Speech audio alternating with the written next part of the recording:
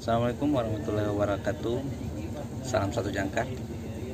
Para angler di mana pun anda berada Kali ini kita akan mereview Proses pembuatan kapal dari awal Sampai kepada tahap Kapal siap untuk dicat nah, Jadi karena video sebelumnya ada beberapa penonton Para angler meminta untuk direview Bagaimana ukuran kapal, besaran kapal. Jadi kesempatan kali ini karena kebetulan saya ada di Panajam Kalimantan Timur, tempat di mana para nelayan pada umumnya membuat uh, perahu. Jadi mari kita simak bersama-sama. Tapi sebelum kita menyimak langkah bagusnya teman-teman mendukung channel ini untuk lebih berkembang lagi, silahkan teman-teman subscribe dan nyalakan bunyi lonceng notifikasinya. Oke, tanpa lama-lama mari kita simak bersama-sama. Ya, oke sobat. Jadi langkah awal pembuatan perahu itu ini dia. Peletakan lunas. Nah, bisa diperhatikan teman-teman. Jadi lunas ini dari kayu ulin berukuran panjang sekitar 14 meter lebih dan lebarnya itu kalau tidak salah ini sekitar 20 kali 20 cm panjangnya sekitar 14 meter. Ini tinggi untuk tempat baling-baling. Kita perhatikan. Ya panjangnya sekitar 14 cm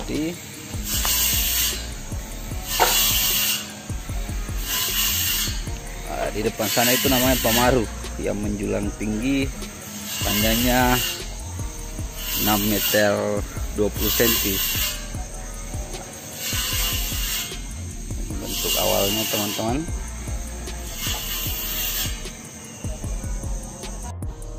Ya jadi ini sobat adalah proses puntir kayu.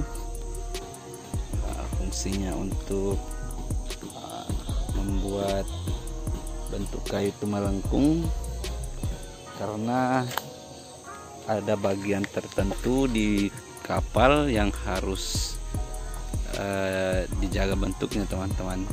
Jadi untuk membantu cepat kayu ini melengkung atau terpuntir di bawahnya nanti itu akan dibakar. Jadi lebih tepatnya ya kayu ini dipanasi sehingga melunak dan itu dia tuas untuk uh, menarik kayunya sehingga ter terbentuk seperti terlipat atau terpuntir teman-teman. Nanti ada bagian tertentu. Biasanya kayu ini paling bawah dipasang di kapal. Nah itu dia. ini dari bawah teman-teman. Jadi itu yang saya maksud tadi eh, bahwa untuk uh, melunakkan permukaan. Jadi ini bagian papan yang dipuntir tadi nah, bisa perhatikan. Jadi ada bagian yang terpuntir melengkung teman-teman. Nah, ini dari dalam. Itu dia proses pembuatannya.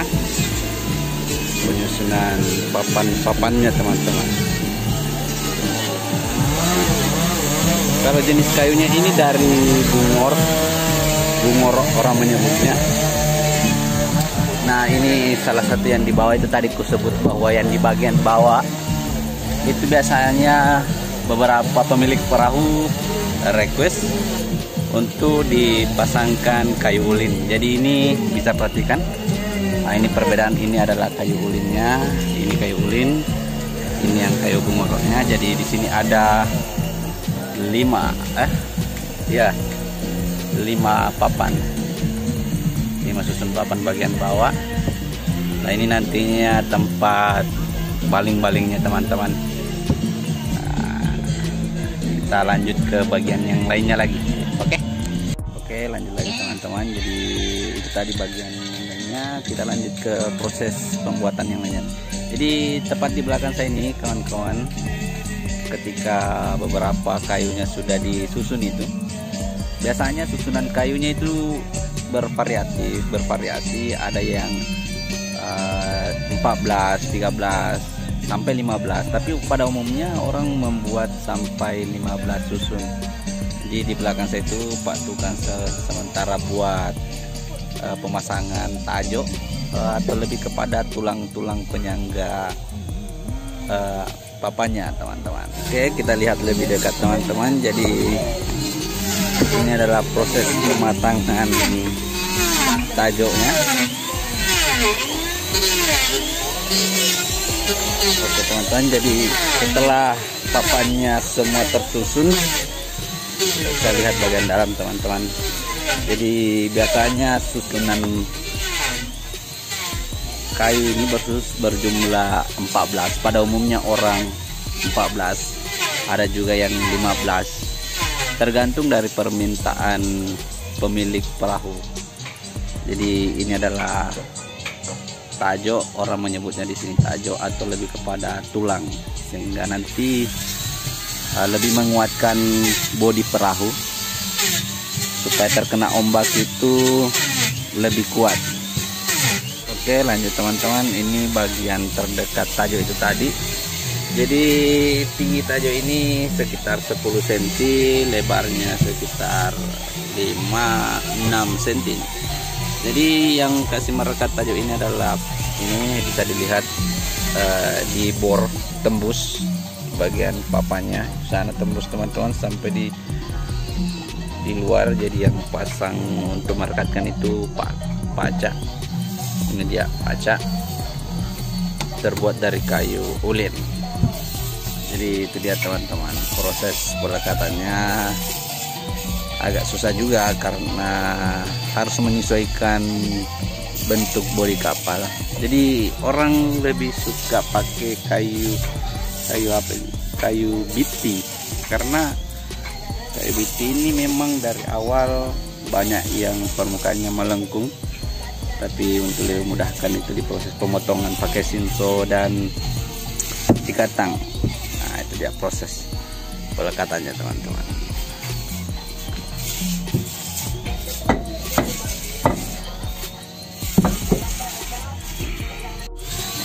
Perhatikan. Jadi kalau teman-teman bertanya apa yang melengketkan melekatkan uh, dari permukaan satu atau yang lainnya? Jadi yang meletakkan antara kayu yang satu dengan yang lainnya itu orang buat pada dan di bagian antara kayu yang satu dengan yang lainnya itu biasa dilapisi orang baru. Apa itu baru nanti kita lihat sendiri teman-teman. Yang mana itu baru. Teman-teman tadi saya menyinggung persoalan baru. Jadi ini yang dimaksud dengan baru ini nih dari kulit kayu nah ini sebagai pelapis antara papan yang satu dengan yang lainnya. Ini fungsinya untuk menambah kerapatan kayu ya supaya tidak masuk air. Dan perekat tajo dan bodi kayu ini ini dia pacak dari kayu ulin dan dilapisi lem kayu sebelum dikasih masuk. Jadi ini bentuknya teman-teman dari luar.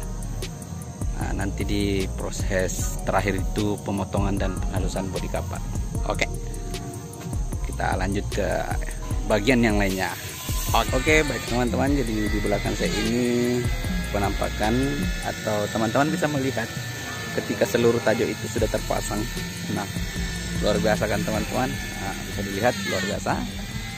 Banyak sekali. Di di atasnya nanti ini ada dipasangkan semacam lepe ya kayu yang melintang ke sana. Melintang sebanyak tujuh biasanya pakai kayu ulin pada umumnya kayu ulin lebih kuat penahan atasnya. Ini teman-teman bisa perhatikan. Luar biasa kan? Dan biasanya untuk waktu yang dipakai perahu bisa sampai di sini sekitar satu bulanan. Biasanya itu kan itu tidak kalau bagus cuaca dan stok kayu banyak uh, untuk penyusunan kayu itu sendiri sampai 14 susun seperti teman-teman lihat di tadi itu hanya memakan waktu 20 hari. Dan untuk pemasangan tadi itu sendiri untuk 2 sampai 3 orang paling lama katanya dua minggu untuk sampai begini. Luar biasa. Dibutuhkan di sini teman-teman. Ya ini adalah tampak dari atas perahu yang selesai guys. Kalau ini kompor jadi di dalam nanti tempatnya kompor. ABK 4 ABK juga barang-barang konsumsi juga disimpan di situ. Jadi ini adalah kemudinya guys kemudi. Jika didorong ke depan ini belok ke kanan.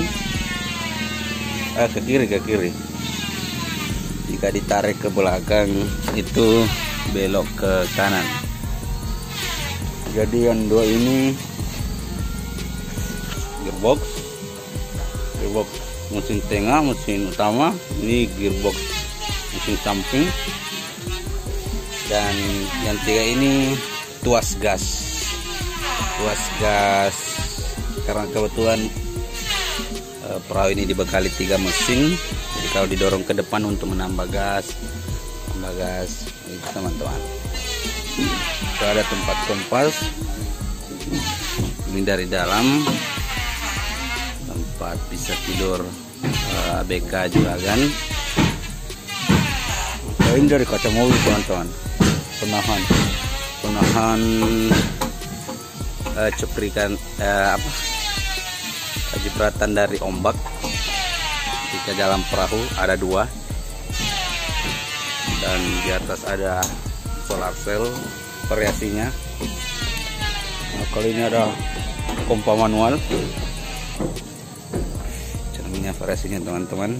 Dan saatnya kita lihat dari dalam. Nah kalau yang kosong ini ada empat kolom. Itu nanti tempat box ikan kalau ukuran box ikannya ini lebarnya sekitar 210 uh, panjangnya sekitar berapa ya? Ukuran triplex itu teman-teman. Ya, kita lihat ke lambung kapal.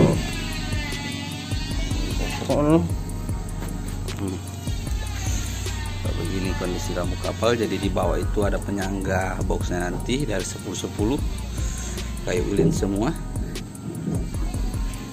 Kita lihat bagian box mesin eh lambung kapal yang berisi mesin. Jadi karena ini masih perahu baru itu tempat uh, nanti mesin sampingnya.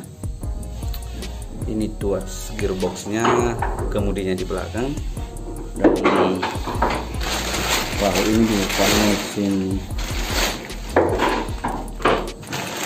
Yanmar. Yanmar TF 300 Nah, kalau salah barunya ini 40 jutaan sekarang. Itu ada tangki. Dan di belakang ada gearbox. Gearbox kental teman-teman gearbox sudah tipe 16A merek advance. Ini kiong kiong untuk uh, penguras airnya. Jadi ini adalah pondasi ada tempat uh, nanti mesin samping. Di belakang itu tempat gearbox juga kondisi teman-teman. Jadi tinggi lambung kapal sampai ke lantai itu sana sekitar 2 meter 10 jadi yang pipa putih ini adalah uh, pompa manual. Pompa manual untuk penguras air. Nanti kapal ini juga karena ada sumber listrik dari tenaga surya jadi nanti dibekali sama uh, pom pompa celup ya saatnya kita lanjut ke bagian depan. Jadi bagian depan itu kamar utama. Kita lihat ke dalam. Nah ini dia teman-teman. Kamar utama. Jadi di kamar utama ini panjangnya sekitar 4 meter tingginya sekitar satu setengah meter. Jadi cukup untuk memuat ketika hujan para ABK untuk tidur. Jadi ini dari depan perahunya. Bisa perhatikan teman-teman di atas ada tempat barang. Ya itulah kira-kira. Jadi biasanya perahu ini ketika beroperasi eh, membawa 6 sampai 7 7 ABK termasuk juragan. Teman-teman cukup luas kan ini nanti ada box ikan terbuat dari fiber. Tingginya nanti uh, 2 meter 10 jadi sekitar segini. Teman-teman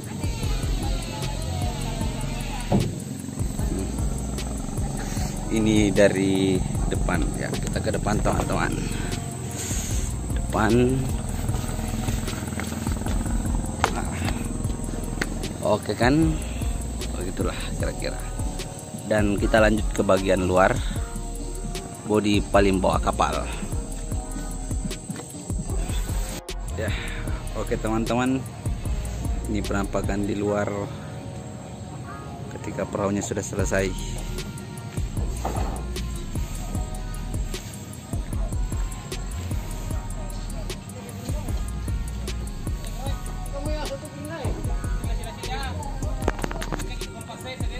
baling-balingnya.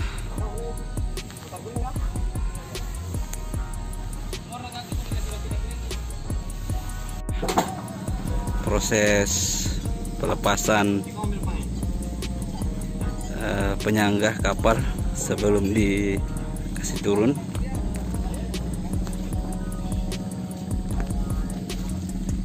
Oh hal yang paling mendebarkan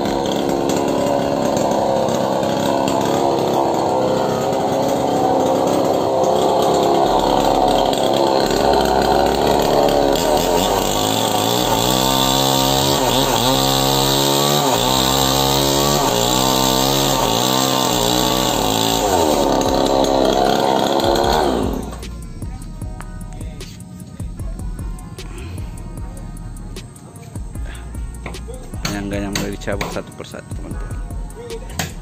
Dan ini dia yang menebarkan risiko yang paling tinggi. Ketika salah perhitungan kapalnya bisa saja jatuh ke bawah teman-teman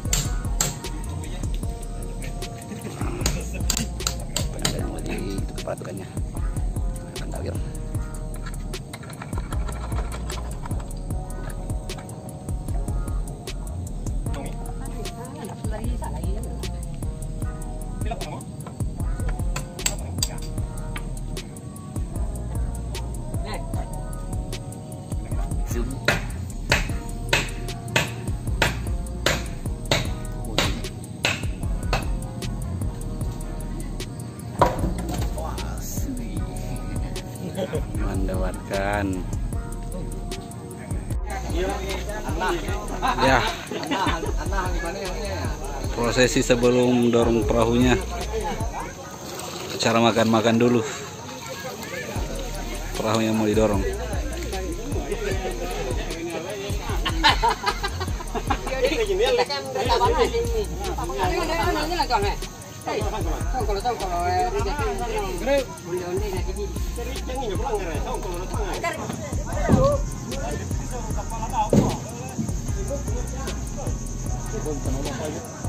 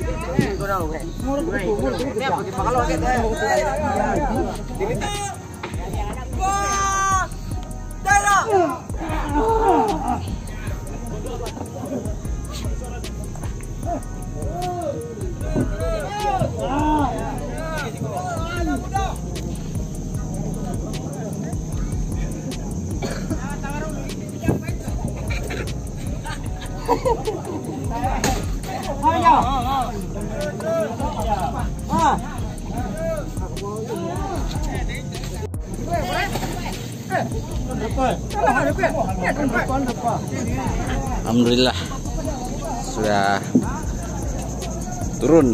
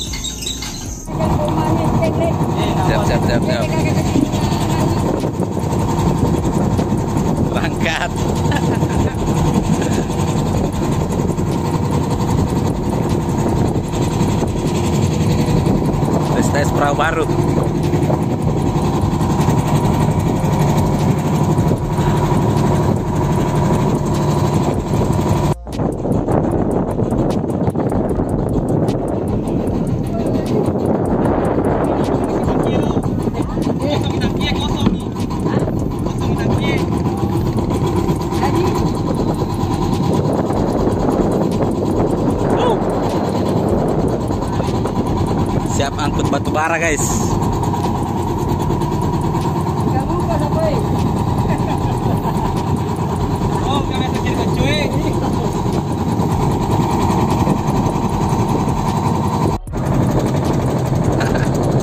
tes tes perahu baru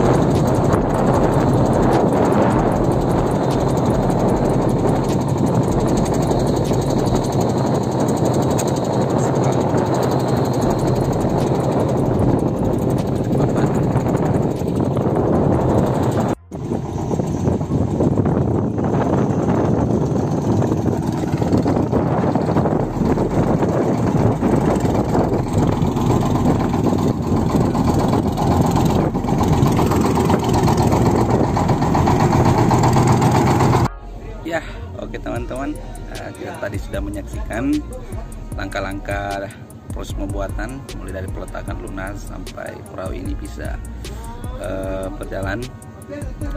Jadi tentunya teman-teman banyak yang bertanya berapa budget yang harus disiapkan ketika ingin memulai usaha sebagai nelayan menangkap ikan tuna. Jadi khusus untuk pembuatan perahu saja untuk pembuatan perahu saja kepada kepala tukan untuk perahu jenis ini dengan eh, 15 susun sekitar JT30 lah.